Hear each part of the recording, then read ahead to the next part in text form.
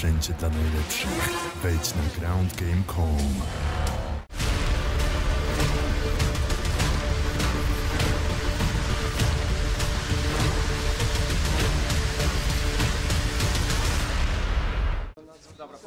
Szymon Karolczyk po zwycięskim pojedynku na Armia Fight Night Special Edition. Pełny dystans. Szymon, spodziewałeś się, że to potrwa 15 minut?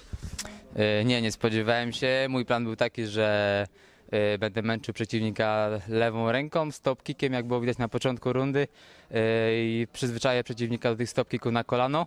E, I za trzecim, czwartym razem po prostu wyjdę Superman punchem prawym prostym i pociągnę jeszcze lewą nogę high kickiem, tak jak to zrobił ostatnio Surdu na KSW.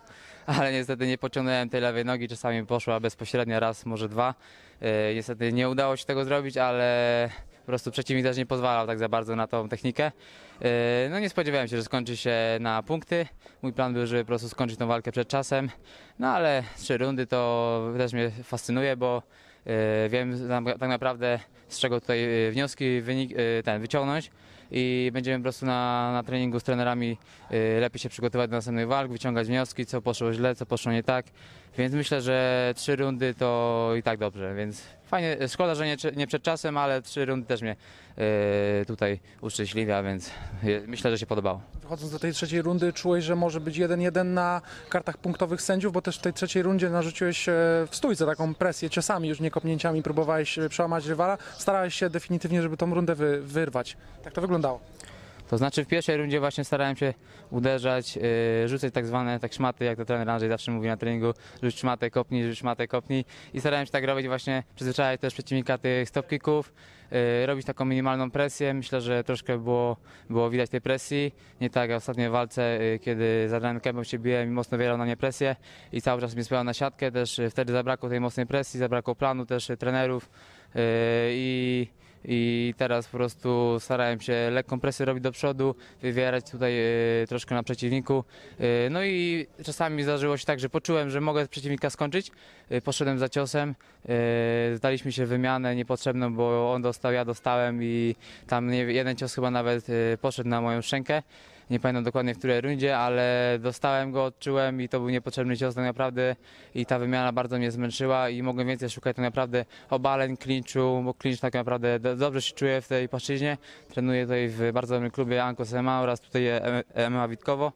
E, I tutaj clinch, zapasy to myślę, że mam na dobrym poziomie, jiu tak samo, e, więc nie bałem się tak naprawdę parteru, chociaż tutaj były akcje, gdzie byłem z dołu, byłem zagrożony tak naprawdę, ale miałem w głowie to, że troszkę sobie odpocznę w tej płaszczyźnie i kiedy wchodziłem do trzeciej rundy, to już wiedziałem, że jest rzeczywiście 1-1. Pierwszą myślałem, że wygrałem, drugą mówię, przegrałem na pewno i w trzeciej mówię, nam się wszystko już pójdę na, charak- na charakterze i bardzo się cieszę, że e, znalazłem tam lukę, obaliłem przeciwnika. E, No i przeleżałem tam już, też słyszałem, że 10 sekund jest do końca i miałem w głowie to, że wygrałem po prostu tę walkę. E, No i z góry tam kontrolowałem, ubijałem, ubijałem i tak naprawdę po trzeciej rundzie, kiedy się skończyła, to odczuwałem to, że wygrałem tą walkę. Nie, że było 2-1 dla mnie, druga runda dla przeciwnika, nie? A jak bardzo zatańczył błędnik po tym ciosie przeciwnika? To znaczy aż tak mocno nie. Y, Tak samo jak z Adrianem Kępą. W sumie dostałem podobnie i poszedłem po nogi. Aż tak mocno nie dostałem, żebym po prostu upadł i zaraz mnie dobił. Nie, nie, po prostu dostałem, mówię, o dobra, kurde, zrąbałem. Za nisko lewa ręka tam było czy coś, ale z tego będę wyciągał wnioski, będę na pewno się e, skupiał na tym na treningu i wy, wy, wy, wyniesiemy właśnie z tego wnioski i na pewno na, na kolejnych walkach nie będzie właśnie żadnych takich podobnych sytuacji.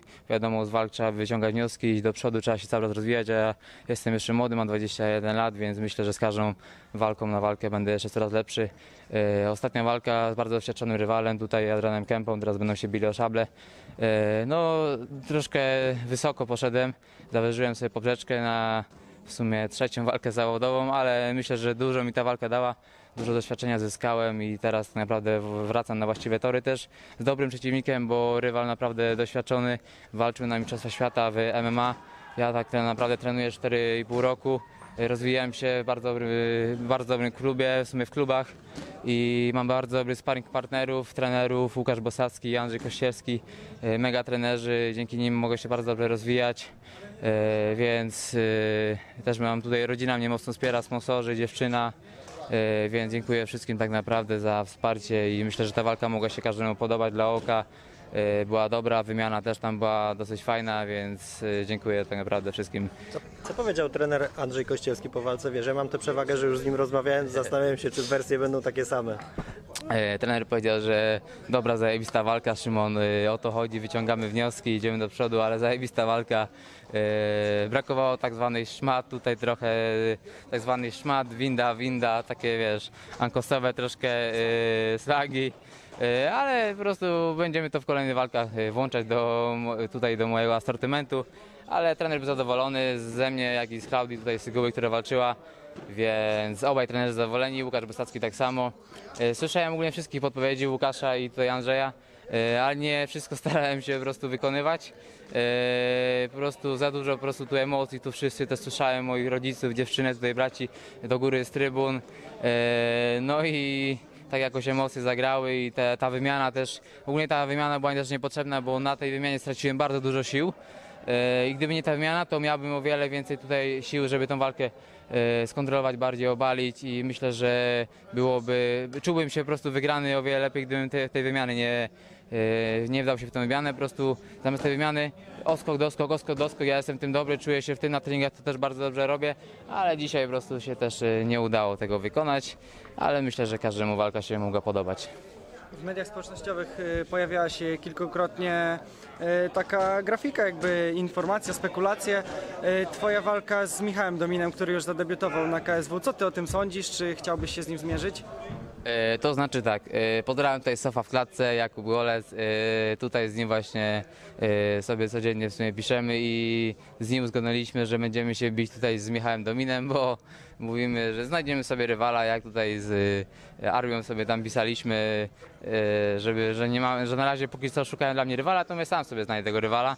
I mówię, tak sobie sprawdziłem, mówię, o tu w KSW się bił, no to kurde, czemu nie, nie? Więc jeśli Michał Domin jest chętny na walkę ze mną, to zapraszam go tutaj, przywitam go tutaj e, w Federacji Armia Fight Night i na pewno damy dobrą walkę. E, a nawet jak nie w armii, no to w KSW też się mogę z nim bić, może, może będzie akurat taka fajna szansa. Więc chętnie go przywitam. Jak nie, no to po prostu czekam na inne propozycje. Ja się ogólnie nie boję z nikim bić. Przyjmę każdą walkę, jak to widać z ostatnio z Adamem Kępą się biłem, nie jeden by do niego nie wyszedł.